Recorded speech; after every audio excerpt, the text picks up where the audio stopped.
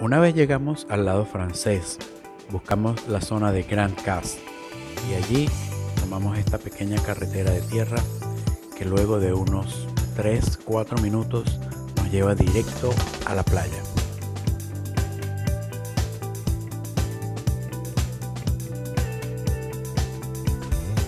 La playa tiene literalmente una puerta de acceso. Una vez atravesada la puerta, nos encontramos con esta belleza.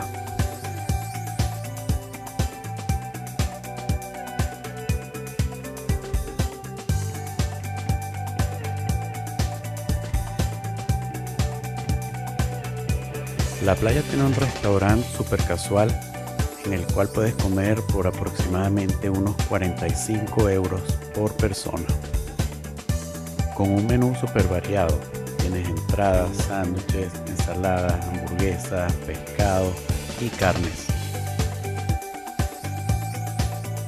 También tiene un pintoresco bar decorado al estilo del rock donde te puedes tomar lo que te provoque. Puedes elegir entre sentarte afuera o adentro del restaurante. Si lo deseas, tienen disponibles camas y sombrillas para que te protejas del sol.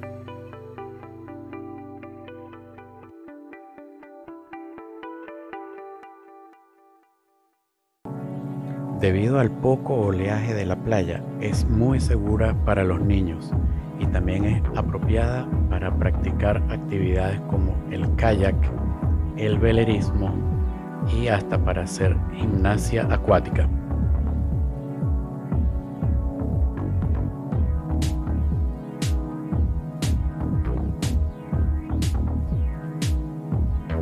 Para los amantes de la naturaleza y la fauna, se puede apreciar con bastante facilidad iguanas y una gran variedad de aves.